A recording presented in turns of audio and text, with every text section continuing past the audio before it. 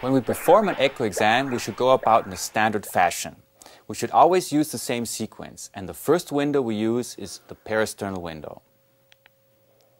The parasternal window is located on the left of the sternum, and we use the intercostal spaces, either the second, third, or fourth intercostal space, depending on the axis of the heart.